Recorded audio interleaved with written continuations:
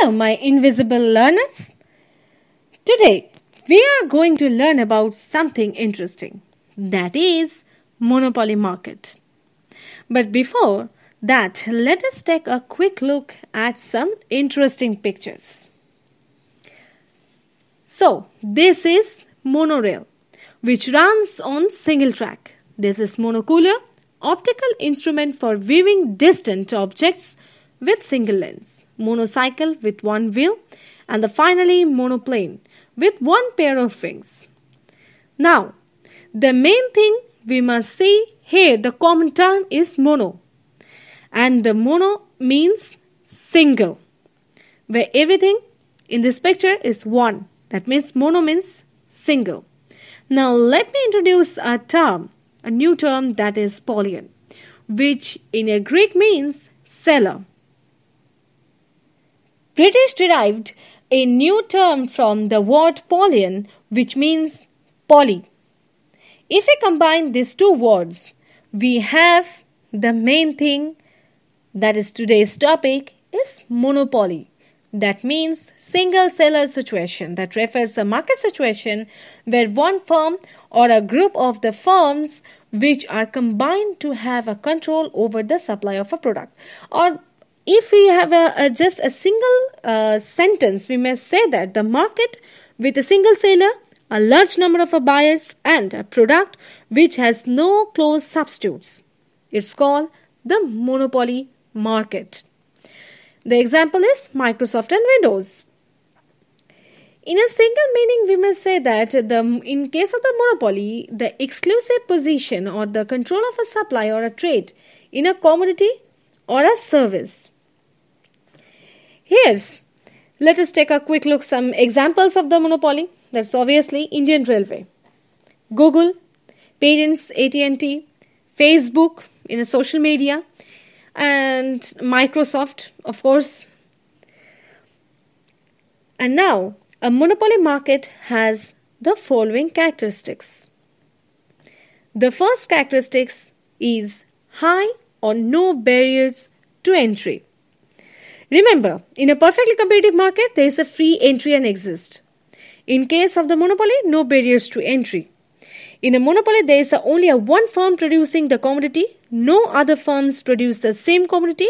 Hence, there is a no distinction between the firm and the industry in the monopoly.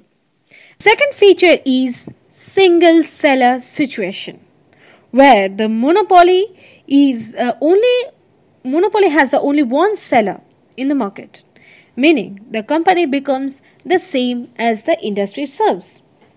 Our third is a price maker. The monopolist can influence either the price or the quantity of output.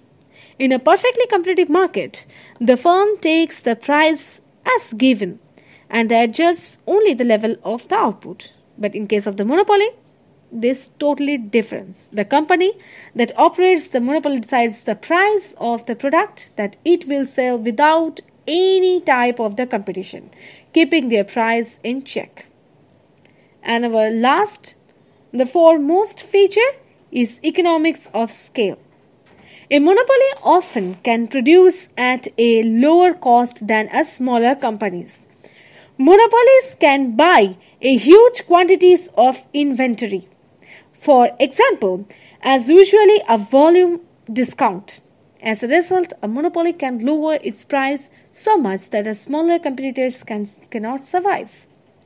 In the right hand side uh, graph, we must say that the economics of the scale, where the LRAC is just slowly downward sloping, and it touch the demand curve at the 10,000 quantity, where the price is 9 pound.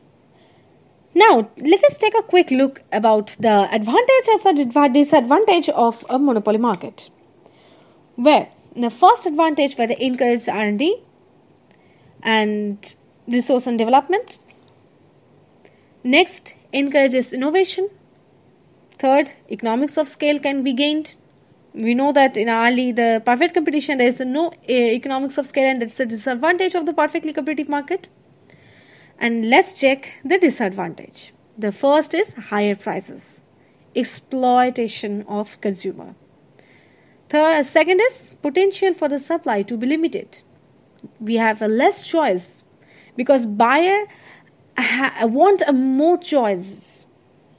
And third, potential for inefficiency. We know that there is a four types of monopoly market. The first is natural monopoly that costs are the minimized by having a single supplier like a Sempra Energy utility. Second is geographic monopoly like Gridwood gas station. Small town because of its location, no other business offers competition. Third is government monopoly like in our India is a UPSC exam, government owned and operated business. And a final is technological monopoly. There is no technology mm, technological industry. There is only one technological industry. We always prefer on this because we don't have any other option. And the, finally we know about the pure monopoly. Frankly speaking in today's life there is a very rare monopoly market in india or in the world. Pure monopoly is very very rare. Now let's see the what is the meaning of the pure monopoly. Pure monopoly is a market structure where one company is a single source for a product and there are no close substitutes for the product available. We do not say that apple company is a pure monopoly company because there's a many types of the mobile company so pure monopoly is a very rare but they do exist. Sometimes it's like a water supply, electricity supply, especially in India, it is Indian Railway. And in the picture, we must say that the Denver, the Denver Broncos are the only professional football team in USA, Denver. Like it's a pure monopoly company, a pure monopoly club, football club. For many years, Microsoft Corporation had a pure monopoly, but not nowadays. On the software and the operating systems are used in the computers that is pure example of the pure monopoly. We conclude our video here. If you like my video, then please like and subscribe and also press the bell icon for the further notification. In our next video, we must talk about the another type of the market structure that is oligopoly. And finally, we compare the all the market situation like a perfectly competitive market versus monopoly market versus oligopoly market. If you have any doubt, then please let me know. You must say or the write to the comment in below. And thank you so much and have a good day.